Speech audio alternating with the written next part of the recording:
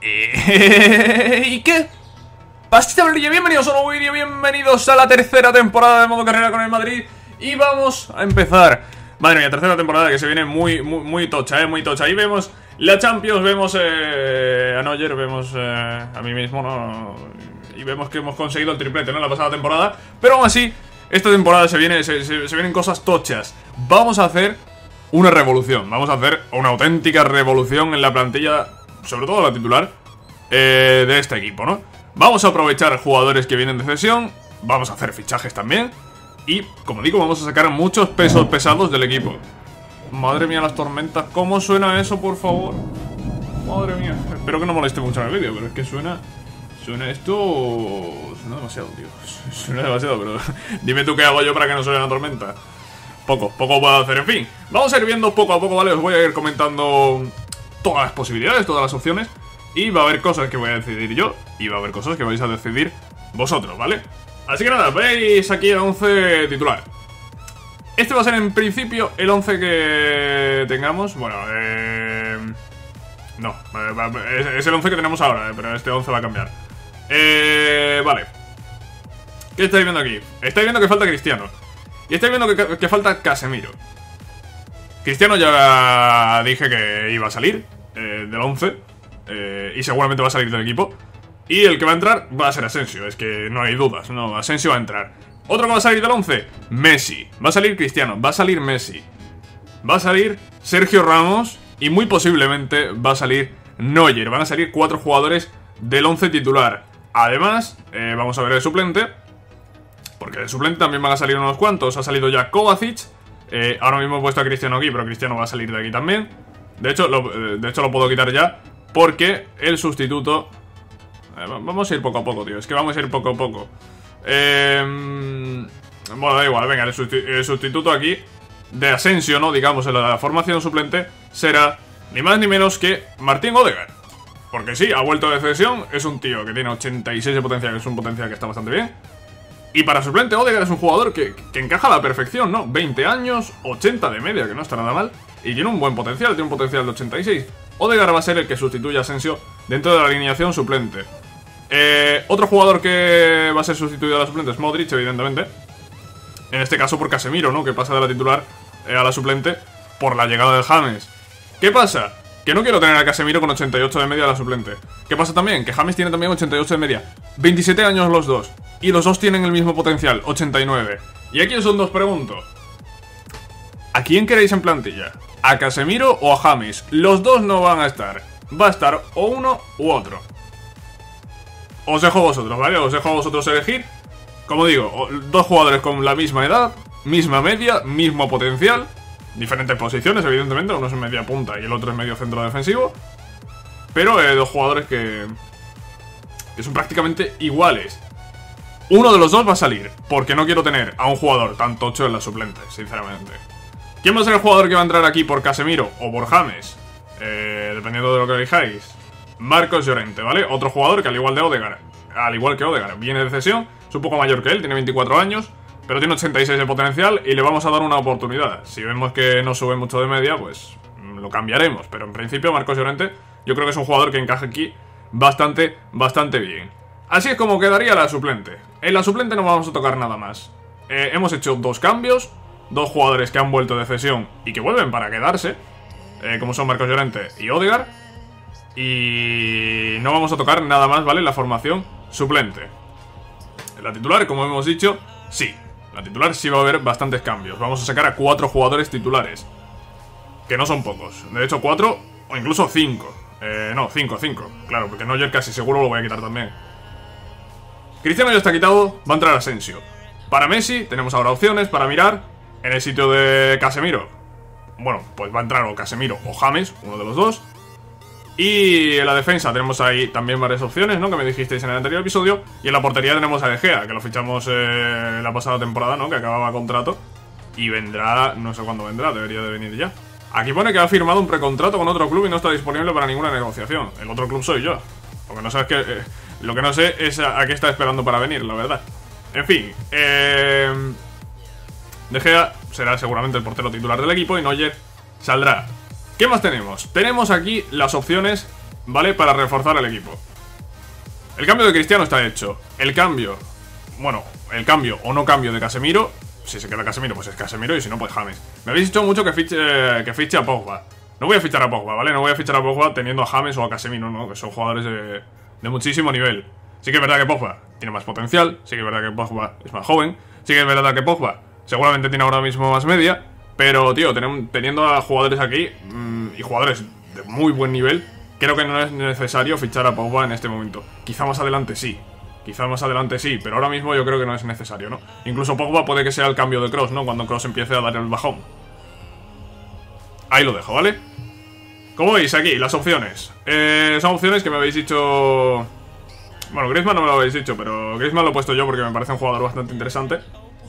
Pero Hummels y Laporte me lo habéis dicho para sustituir a Ramos. Y Kane y Griezmann, pues para sustituir a, Messi, ¿no? Realmente a Griezmann no me lo habéis dicho, me habéis dicho otros jugadores, ¿no? Salah, por ejemplo. Salah al principio del juego no tenía mucho potencial, ni tenía mucha media. De hecho, lo he visto y tiene 86 de media. Y no tiene más potencial, el potencial es 86, Salah no, no vale. Salah no vale. Seguramente si hacemos un, eh, un nuevo modo carrera ahora pues ahora va a tener más media, va a tener más potencial y sí sería bastante, bastante bueno, pero ahora mismo eh, en este modo carrera no. Así que tenemos estas opciones. Kane es un delantero centro puro. Y he puesto a Griezmann, porque Griezmann es un jugador que juega de delantero, juega de extremo derecho, juega de extremo izquierdo, es un jugador muy polivalente y eso nos puede servir. Porque realmente no sé todavía dónde voy a colocar a Asensio, no sé dónde voy a colocar a Hazard y podríamos hacer cambios, ¿no? Con Griezmann, es que Griezmann puede jugar en cualquiera de las tres posiciones de ataque. Que en cambio, pues delantero y, nada más. delantero y nada más, ¿no? Además son jugadores muy diferentes. Kane es un jugador muy alto, lento. Y Griezmann es un jugador muy rápido. Em, es sobre todo la principal diferencia entre los dos, ¿no? Después de la defensa tenemos a Hummels, que tiene 88 de media, tiene un par, de puntos más que Laporte.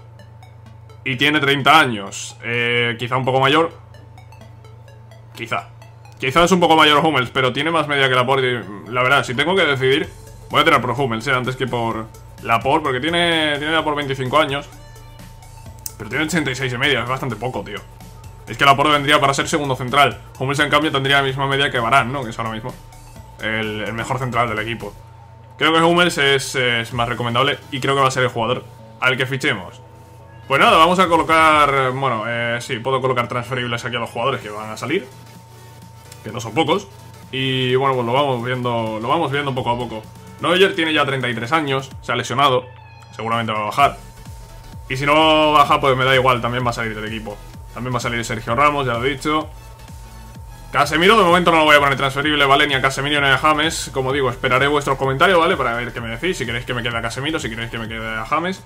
Eh, uno de los dos va a salir. Uno de los dos va a salir. Y no sé ahora mismo quién. Y no voy a decidir quién, lo vais a decidir vosotros. Pues ya está, ¿no? Eh, no, falta Modric, eh, si no me equivoco. Y ya con Modric transferible, lo tendríamos todo listo. Vale, pues esto es lo que hay, tío. Esto es lo que hay. También tendríamos que ver ya jugadores aquí. Eh, dejadme un momento. Porque hay jugadores ya como Javi Muñoz, 24 años. Está cedible. Voy a quitarlo de cedible y lo voy a poner transferible. Este jugador no vale para nada. En serio. No vale para nada. Por cierto, tengo el equipo lleno y no puedo hacer nada. Así que tengo que esperar. Va, en serio, eh, no es coña. Tengo el equipo lleno y tengo que esperar para fichar. En principio no va a haber problemas. Eh, yo espero recibir ofertas por alguno de estos jugadores, ¿no? Para que salga. ¿Debería haber puesto a estos jugadores cedibles? Pues sí, quizá debería haberlo hecho antes de empezar. Tarde. Tarde, la verdad, tarde. Ya lo haré para el siguiente episodio.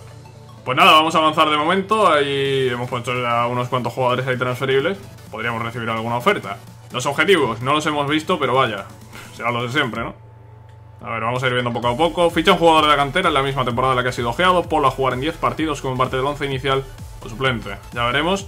Mejora un jugador de la cantera en al menos 10 puntos generales. En cuanto esté listo, sácalo en 5 partidos como parte del 11 inicial o desde el banquillo. Vale. 200 eh, millones de euros en ganancia de camisetas. Y 360 millones en ganancias de medios. En un plazo de 3 temporadas. Vale.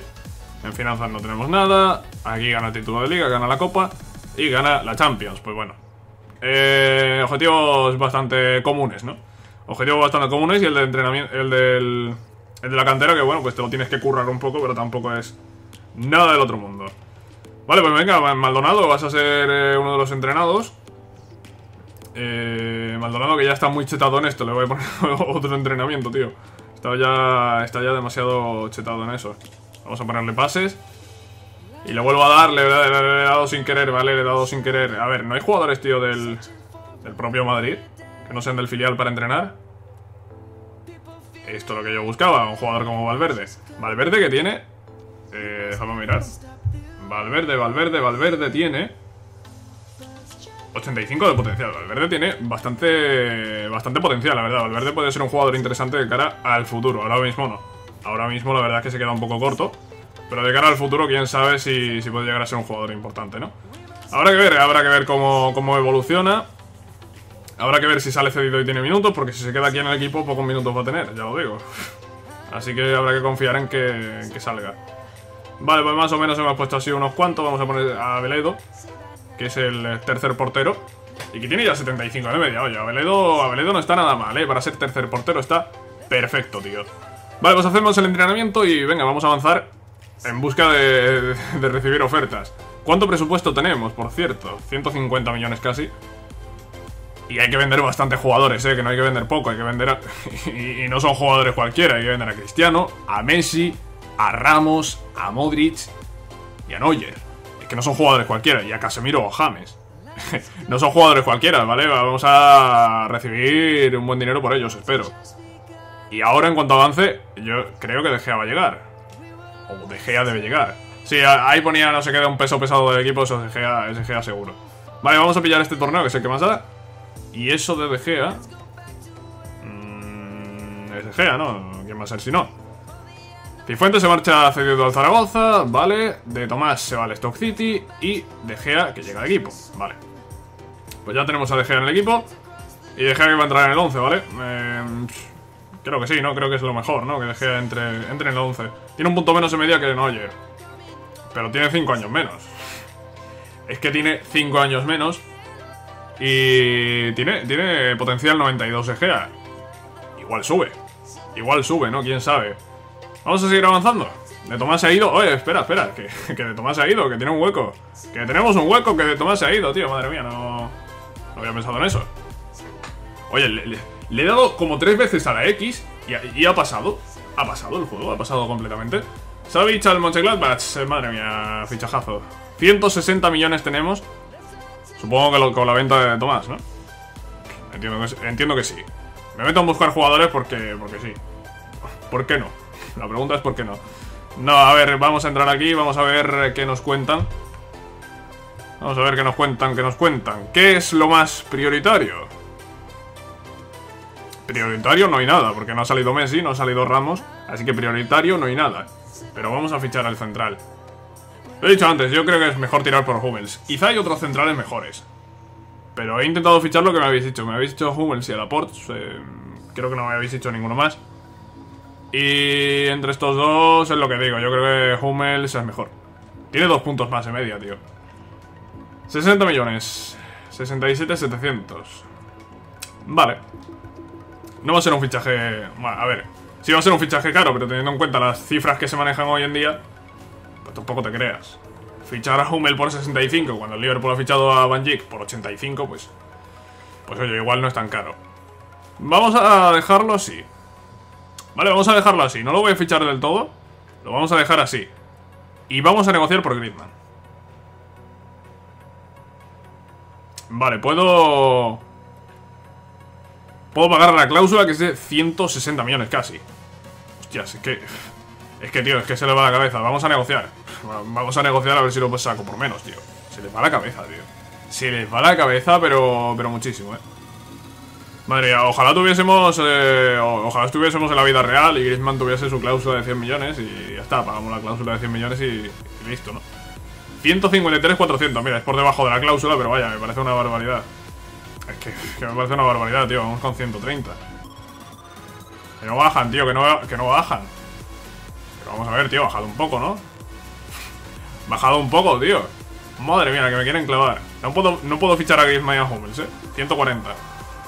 Vale, 140 y 65 son 205 millones. No tengo ahora mismo 205 millones, pero hay que tener en cuenta que tengo que vender 4 o 5 jugadores.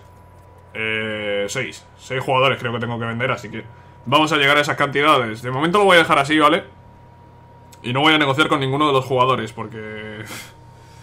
Me parece, parece un poco, un poco locura, ¿eh? Negociar ahora.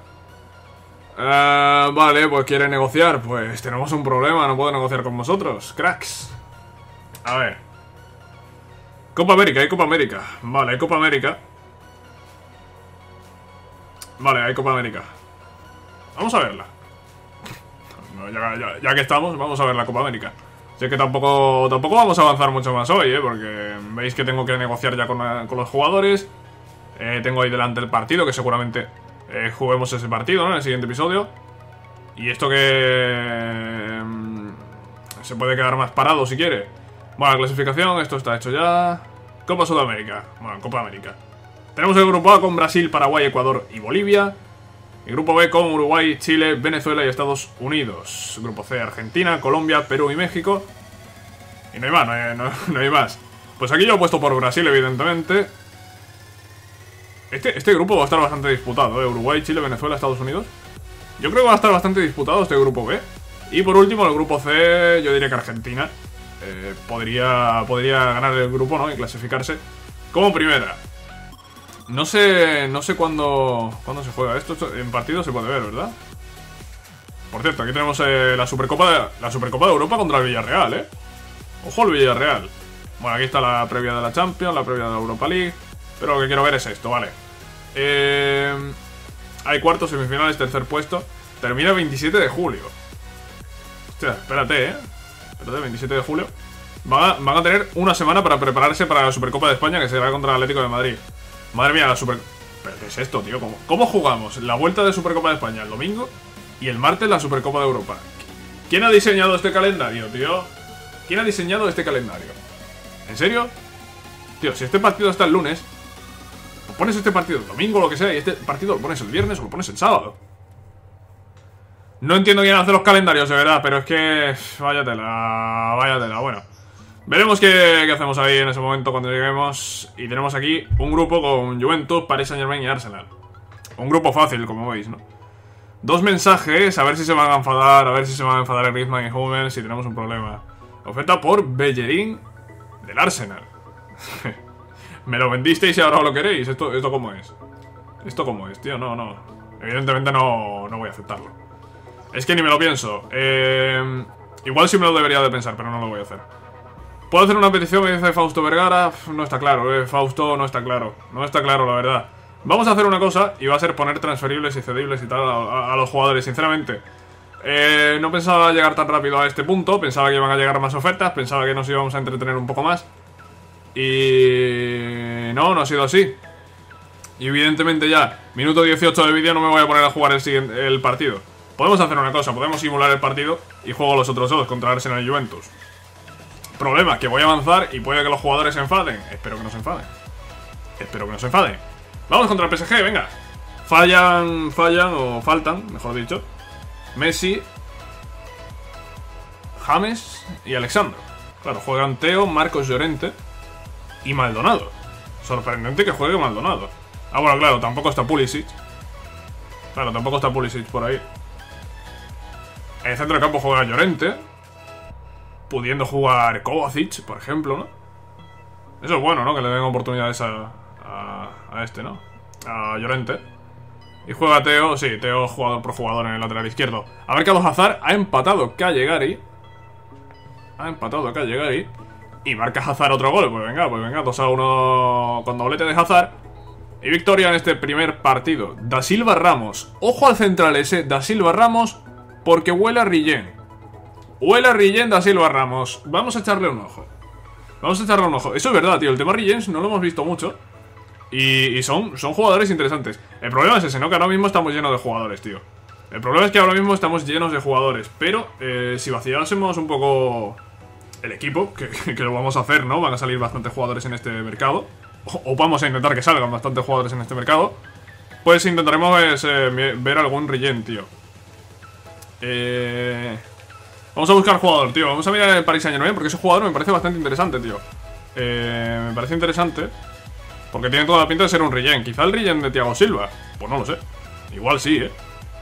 Podría ser. Podría ser el relleno de Thiago Silva. Defensa, Da Silva Ramos, ¿dónde estás? Cristiano Da Silva Ramos, brasileño, defensa central. Pues puede ser perfectamente el relleno de Thiago Silva. ¿Cómo comprobamos esto? Algunos me preguntáis cómo miró el tema de los rellenos.